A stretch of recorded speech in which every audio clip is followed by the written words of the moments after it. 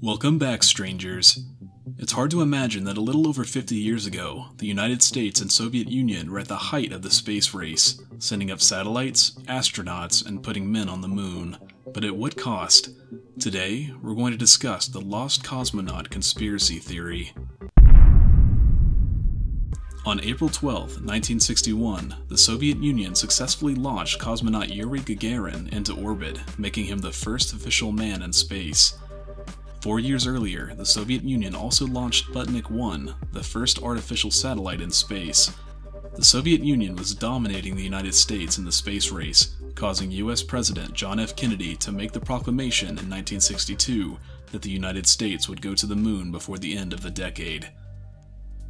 Many believe that the Soviets' domination came after a series of fatalities and mission disasters. The Soviet Union was known not to publish their failures, and even attempted to cover up launch disasters, leaving some to question whether Yuri Gagarin was even truly the first man in space, or whether he was the first cosmonaut to survive the mission.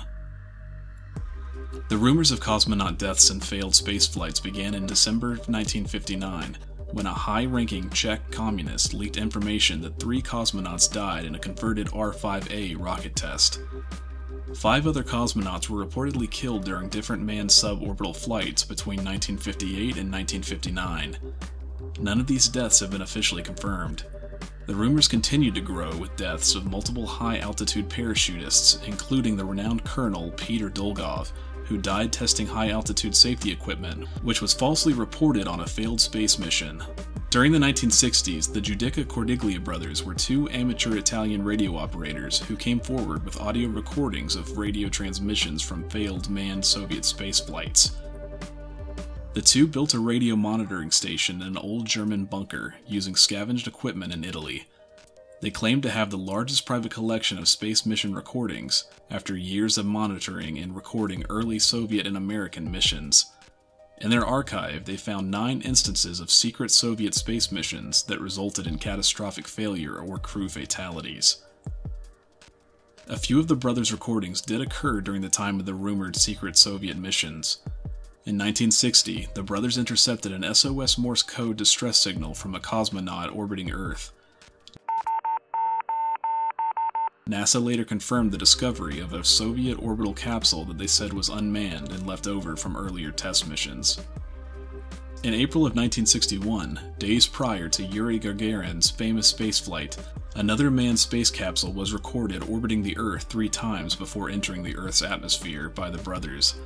This coincides with the rumored flight of Vladimir Ilyushin, who some claim was the first successful man in space.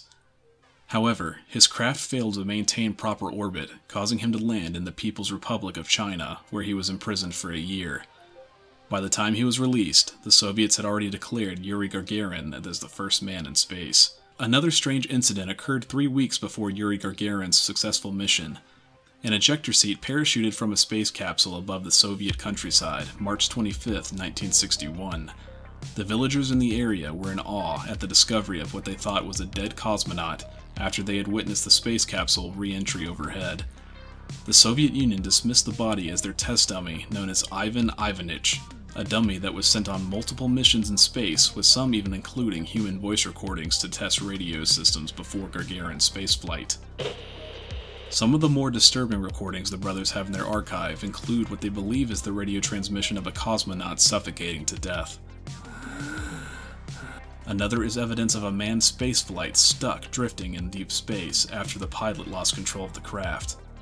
The creepiest is the recording of a female cosmonaut saying, I am hot, as she burns up during re entering the Earth's atmosphere.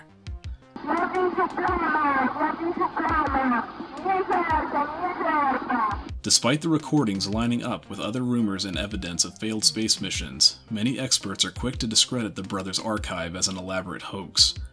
Many recordings fail to use the proper Soviet Air Force terminology used by cosmonauts during missions and training. The recordings also contain numerous grammatical errors and disjointed sentences that do not appear to be spoken by highly educated cosmonauts whose native language was Russian. Radio experts say there was no way possible that the amateur brothers could have recorded unique signals with their improvised radio network. The brothers' archive contains transmissions that no other government in the world have, despite numerous countries possessing massive radio networks much more capable of intercepting radio signals from space. The recording of the woman cosmonaut burning up has an Italian accent, leading many to think it's the brother's sister in the recording. The brothers' story was picked up by an international radio station, allowing them to profit off their story and supposed archives of the recordings. In 1967, the Soviet Union had an embarrassing disaster on a global stage when the Soyuz 1 parachute failed to properly open after re entering the atmosphere, killing cosmonaut Vladimir Komarov. He became the first official flight fatality, but was he really the first? Reportedly, Komarov knew the space capsule was unsafe to fly, but did not want the mission to be delayed or scrubbed and flew it anyway. How many of these unsafe flights took place?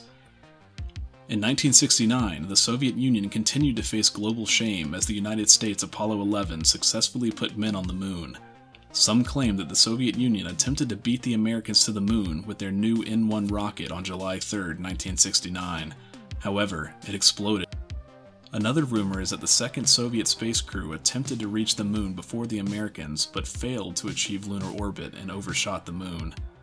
The Soviets officially claim all of their lunar test missions were either unmanned test flights or space probes.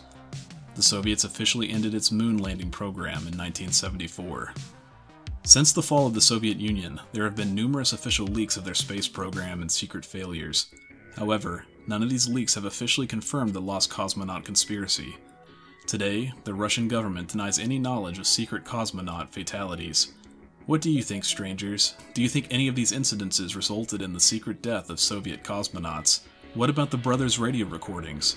Do you agree they were a hoax or evidence of a cover up spanning over 50 years and multiple government and space agencies? Thanks, strangers, for watching. If you enjoyed this video, don't forget to give it a like. Let us know your theories on the lost cosmonauts in the comments. Also, please subscribe and be sure to smash that bell button so you never miss one of our videos. It helps us out a lot. And as always, stay strange.